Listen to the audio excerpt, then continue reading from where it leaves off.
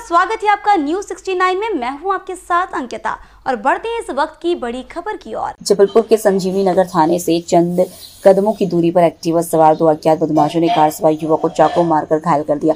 घटना को अंजाम देने के बाद आरोपी मौके से फरार हो गए। घायल युवक को इलाज के लिए जबलपुर के मेडिकल अस्पताल में भर्ती कराया गया है।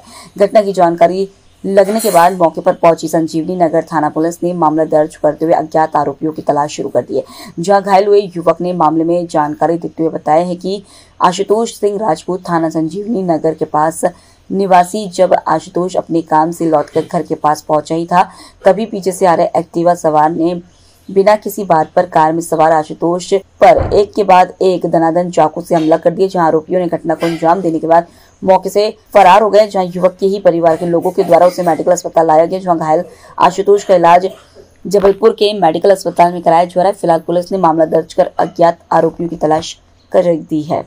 शुरू कर दी है। जबलपुर से न्यूज़ सिक्सटी के लिए वाजिद खान की रिपोर्ट। भैया, क्या घटना हुई थी? आपको किसने मारा और कहाँ की घटना है? मेरे घर के जस्ट सामने की घटना है। मेरी गाड़ी के पीछे एक गाड़ी लगी और उसमें से दो लोग रहे उस गाड़ी में।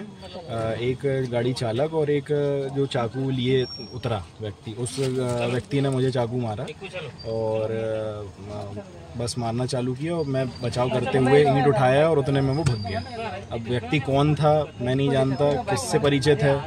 किस कहा की घटना है मेरे घर के जस्ट सामने संजीवनी नगर के पास गेट के पास की घटना है संजीवनी नगर मेन गेट के पास की घटना मेरे घर के जस्ट सामने आपका नाम? आशुतोष सिंह राज क्या कहते हैं आप? कंस्ट्रक्शन का बिज़नेस है। इस खबर पर आपकी क्या है राय?